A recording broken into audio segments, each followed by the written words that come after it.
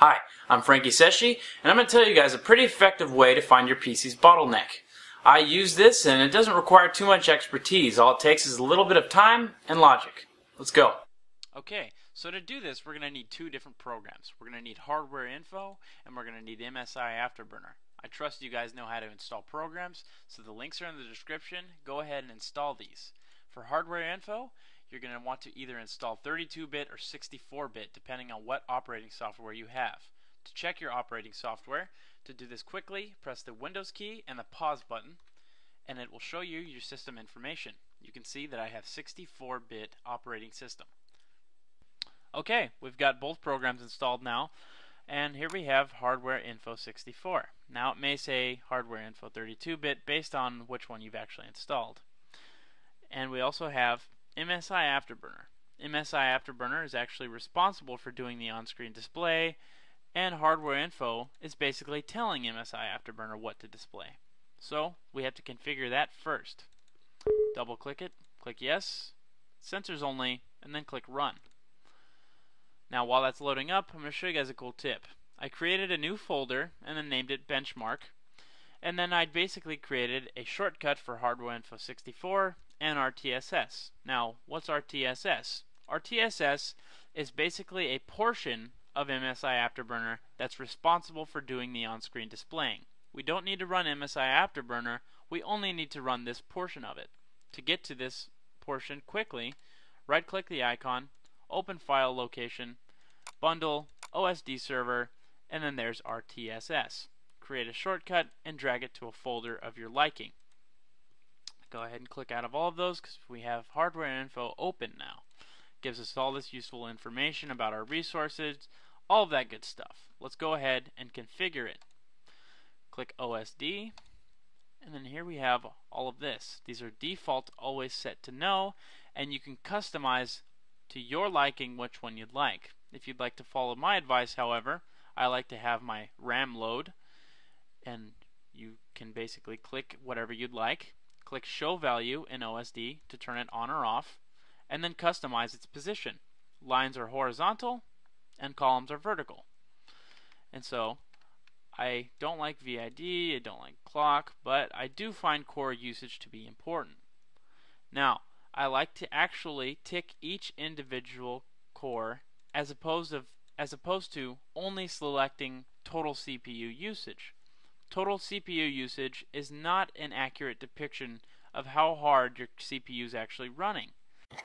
Alright, so I thought I'd take a quick second to explain multi-core processors on old games. Now I'm probably going to mess up a lot on this, so I ask for your forgiveness, but I don't want to have to redraw all of this.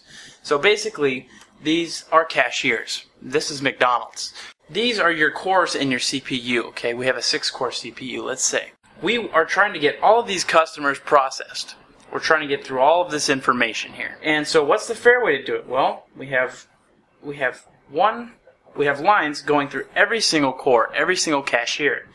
And it equals out to about a 16% share amongst the amongst the cashiers for it to all be equal.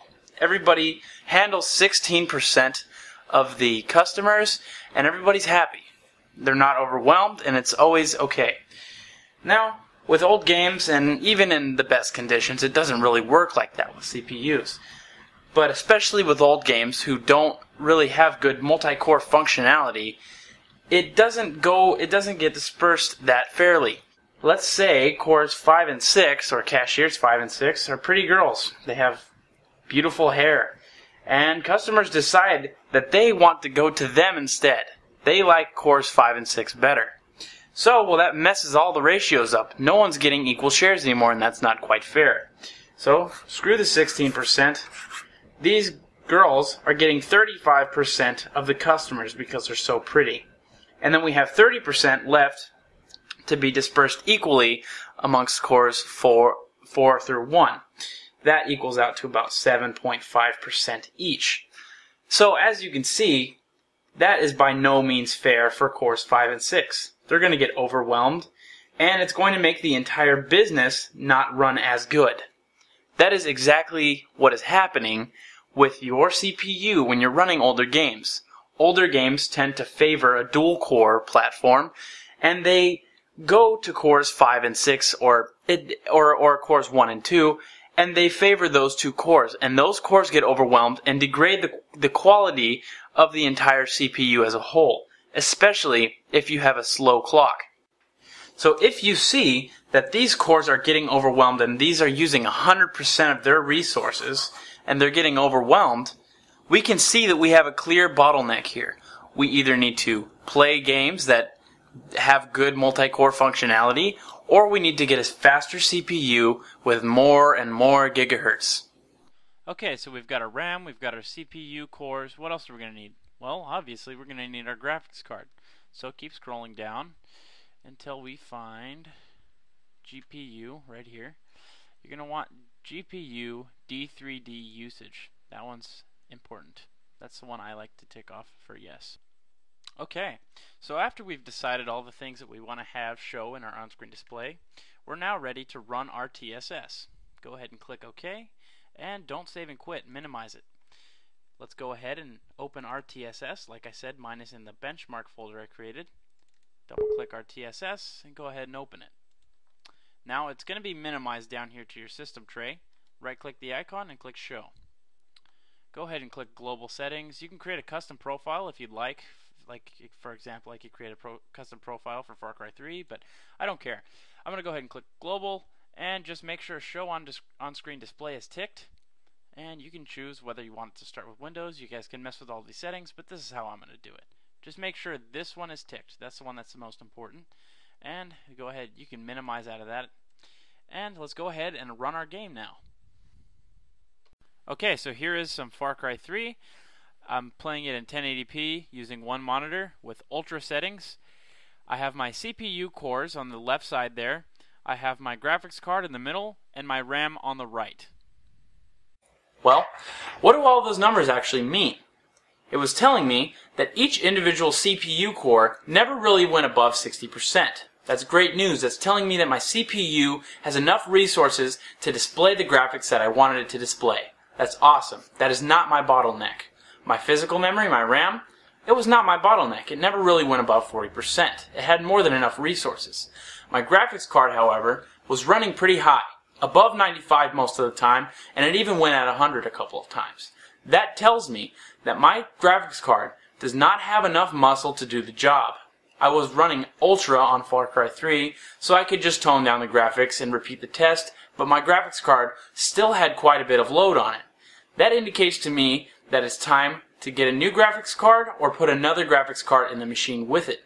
The graphics card was my bottleneck. Okay, so we all know benchmarking programs like Fraps are awesome. They give us information about our frames per second, and they even let us know how fast our computers are. They can't, however, tell us what we should do to make those computers even faster. An inexperienced builder might think, just throw a graphics card in it, that'll fix the problem. And that's not always the case. If you get the biggest, baddest graphics card on the market and you throw it in your system, you're probably going to see no performance increase whatsoever if the components that are surrounding that graphics card aren't up to par. You need to have a good CPU and good RAM surrounding that graphics card to make your whole system a very efficient machine. Now, I'm not saying that your graphics card and your RAM and your CPU are the only things that affect it. You need to have a nice motherboard and a good hard drive and all that good stuff to make sure you have a good computer. But those are the main things that you want to look for first. I'm Frankie Seshy, and I hope you guys have found this tutorial useful in weeding out your bottleneck.